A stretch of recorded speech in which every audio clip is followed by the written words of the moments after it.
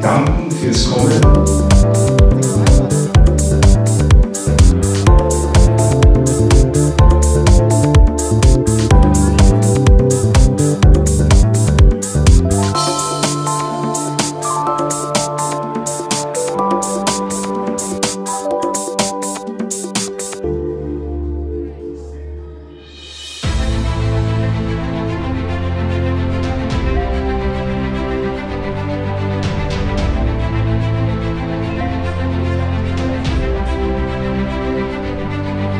Die Zukunft. Es geht um die Zukunft. Die Leute haben wir hier.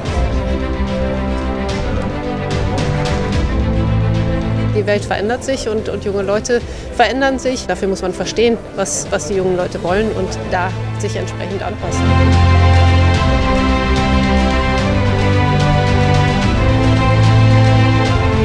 Der Young Leaders in Sports Summit und äh, Franz Punkt, die bilden die Brücke. Die Brücke zur nächsten Generation und zur übernächsten Generation von Leaders in Sports.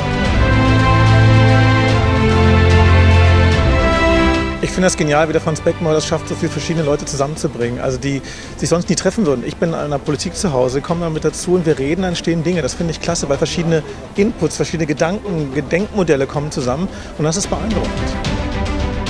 Das ist sehr interessant, also interessante Themen und auch eben viele verschiedene Leute hier aus, ähm, aus unterschiedlichen Bereichen. Ist schon interessant, sich auszutauschen.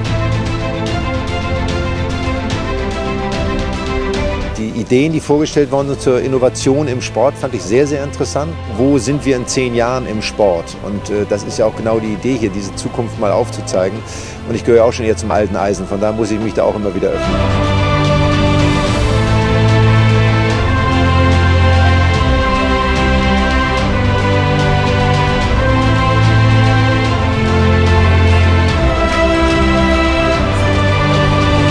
Geht um, die Zukunft des Sportes, wie es im Sport äh, weitergeht, um die Leute zu unterhalten und sie für bestimmte Themen zu begeistern. Lasst uns daran arbeiten.